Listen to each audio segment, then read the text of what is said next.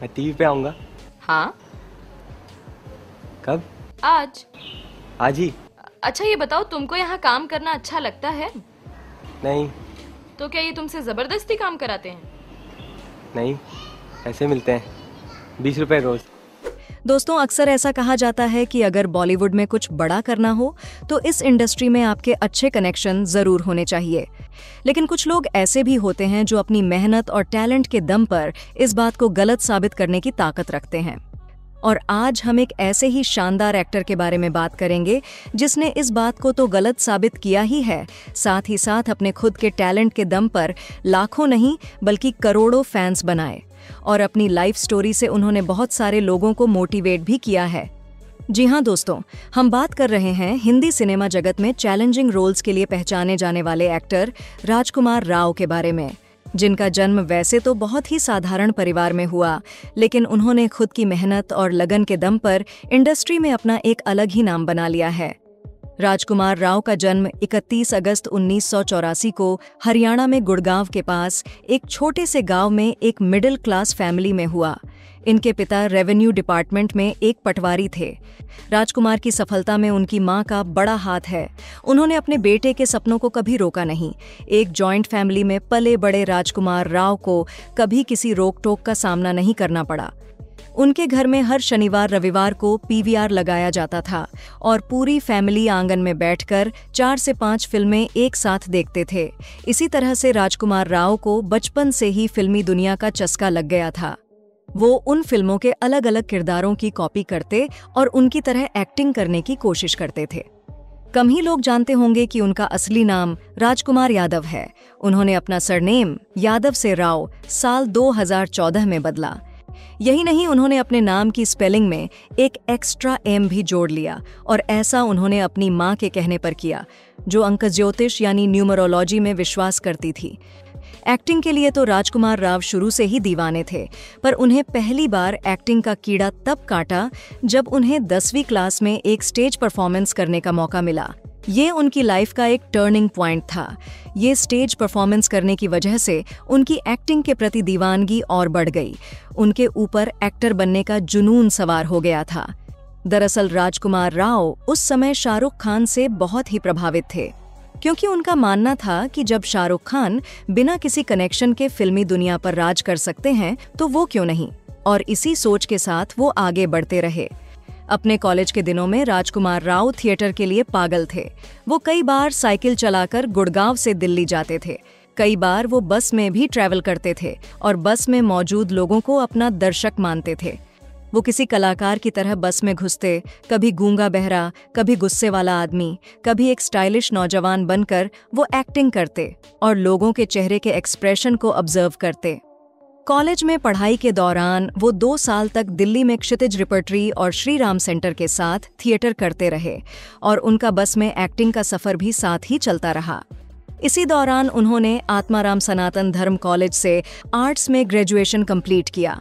Graduation complete करने के बाद साल 2008 में उन्होंने एफटीआईआई पुणे के फ़िल्म इंस्टीट्यूट में एक्टिंग कोर्स के लिए अप्लाई किया और उन्होंने वहाँ दो साल तक एक्टिंग की कई बारीकियाँ सीखीं। एफ़ ने राजकुमार राव को न सिर्फ़ एक्टिंग सिखाई, बल्कि उनका प्यार, अनविता पॉल उर्फ़ पत्रलेखा से मुलाकात भी उनकी एफ़ में ही हुई। वहाँ एक शॉर्ट फ़िल्म की शूटिंग के दौरान उन्हें एक दूसरे से प्यार हो गया था। ये दोनों फ़िल्म सिटी लाइट्स में भी एक साथ नज़र आ चुके हैं।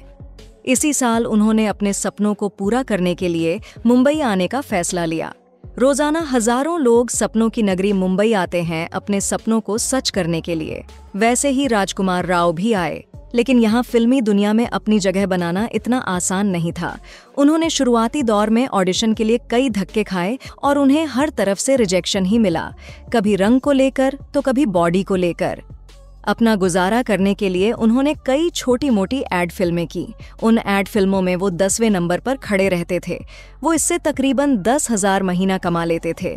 लेकिन कई दिन ऐसे होते थे जब उनके पास कुछ नहीं होता था। उन्हें अपने दोस्त को फ़ोन करके खाने का जुगाड़ करना पड़ता था। गुजरते वक्त के साथ साथ उनका आत्मविश्वास डगमगाने लगा। उन्हें लगने लगा कि शायद वो इंडस्ट्री के लिए नहीं बने हैं। वो हताश, निराश हो चले थे। लेकिन तभी किस्मत ने उनका दरवाज़ा खटखटाया और साल 2010 में राम गोपाल वर्मा की फ़िल्म रण में उन्हें एक छोटा सा रोल मिल गया। लेकिन ये फ़िल्म उनकी किस्मत नहीं बदल पाई। उनका रोल ही इतना छोटा था कि किसी ने उन्हें नोटिस ही नहीं किया।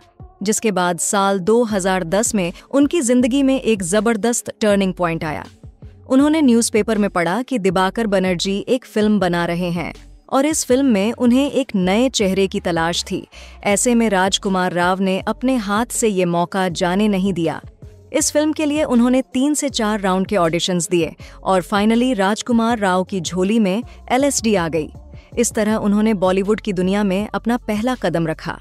एलएसडी के बाद एकता कपूर की रागिनी एमएमएस और बिजॉय नाम्बियर की शैतान मूवी में राजकुमार नज़र आए। एलएसडी में उनकी एक्टिंग देख अनुराग कश्यप इतने इम्प्रेस हुए कि उन्होंने राजकुमार को गैंग्स ऑफ़ वासीपर टू में कास्ट कर लिया।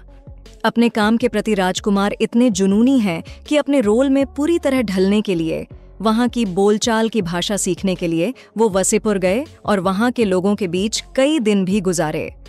इसी साल राजकुमार राव फ़िल्म तलाश में एक पुलिस सब इंस्पेक्टर का रोल करते नज़र आए। राजकुमार राव आमिर खान के ज़बरदस्त फ़ैन हैं। उन्होंने तलाश फ़िल्म सिर्फ़ इसलिए की ताकि वो आमिर के साथ काम कर सकें। दोस्तों, राजकुमार राव ने अभी तक जितनी भी फ़िल्में की थीं, वो सभी फ़िल्में उन्हें फ़िल्म इंडस्ट्री में कुछ खास पहचान नहीं दिला पाई। फिर साल 2013 में आई अभिषेक कपूर की फ़िल्म काय पोछे असल में यही वो फ़िल्म थी जिसने फिल्मी दुनिया में राजकुमार राव को एक नई पहचान दिलाई। इस फ़िल्म के लिए राजकुमार राव को Filmfare best supporting actor के अवार्ड से भी नवाजा गया। इसके बाद आई हंसल मेहता की फ़िल्म शाहिद। इस फ़िल्म के लिए राजकुमार राव को नेशनल अवार्ड से भी सम्मानित किया गया। उसके बाद उन्होंने super duper hit film Queen, City Lights और हमारी अधूरी कहानी जैसी फ़िल्मों में छोटे लेकिन प्रभावशाली रोल किए। फ़िल्म राबता में उनका एक लुक पूरी फ़िल्म पर भारी पड़ गया था। वो फ़िल्म तो पिट गई, लेकिन लोगों को तीन सौ साल का वो बूढ़ा आज भी याद है। इसी साल उनकी एक ज़बरदस्त फ़िल्म आई, जिसका नाम था ट्रैप्ड इस फ़िल्म के लिए उन्होंने 22 दिन में 7 किलो वज़न कम किया था। वो पूरा दिन सिर्फ़ एक कॉफ़ी और एक गाजर पर गुजार देते थे। उससे भी बड़ी बात तो ये हुई कि राजकुमार राव शुद्ध शाकाहारी हैं, लेकिन उन्हें अपनी इस फ़िल्म के लिए मीट भी खाना पड़ा। ये उनके एक्टिंग करियर का सबसे चुनौतीपूर्ण काम था। 2016 में फ़िल्म न्यूटन की शूटिंग के दौरान ही राजकुमार की मदर का देहांत हो गया था। पूरे फ़िल्म के क्रू को लगा था कि अब एक दो हफ़्ते शूटिंग नहीं हो पाएगी। पर राजकुमार अगले ही दिन फ़िल्म की शूटिंग पर वापस आ गए थे। राजकुमार ने बताया कि मेरी माँ को मुझे बिग स्क्रीन पर देखते हुए बहुत खुशी होती थी और अगर वो आज यहाँ होती तो मुझे वापस शूट पर जाने को ज़रूर कहती। फ़िल्म के शूट पर वापस जाना राजकुमार के लिए भी थोड़ा मुश्किल था। स्त्री राजकुमार राव के करियर की सबसे सक्सेसफुल फ़िल्म रही है, जहाँ फ़िल्म ने 180 करोड़ का लाइफ टाइम बिज़नेस किया था। इसमें ऑडियंस ने राजकुमार की कॉमेडी टाइमिंग को बहुत अप्रिशिएट किया, जहाँ विक्की टेलर का कैरेक्टर सबको खूब पसंद भी आया, जिसके बाद साल 2024 में इसके दूसरे पार्ट ने कई नए रिकॉर्ड बनाए और वर्ल्ड वाइड टोटल 850 करोड़ से ज़्यादा की कमाई की।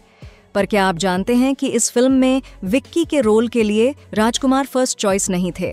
फ़िल्म के लिए पहले आयुष्मान खुराना को लिया जाने वाला था, पर उन्होंने ये फ़िल्म रिजेक्ट कर दी थी। स्त्री के रिलीज़ होने के बाद जब आयुष्मान ने ये फ़िल्म देखी तो उन्हें रियलाइज़ हुआ कि उनका इस फ़िल्म को रिजेक्ट करना एक गलत डिसीज़न था। आप भी हमें कमेंट्स में बताएँ कि क्या आयुष्मान फ़िल्म में राजकुमार से बेटर परफॉर्म कर पाते या नहीं। फ़िल्मों में अपनी बेहतरीन परफॉर्मेंस के कारण Rajkumar Rao world wide famous हो गए हैं। पर यह सब इतना आसान नहीं था जितना लगता है। बॉलीवुड में छोटी कहानियों से एंट्री लेने वाले राजकुमार राव ने फ़िल्मों की एक हिट लिस्ट बना दी है। राजकुमार की गाड़ी आज ऐसी चली है कि आगे ही जा रही है।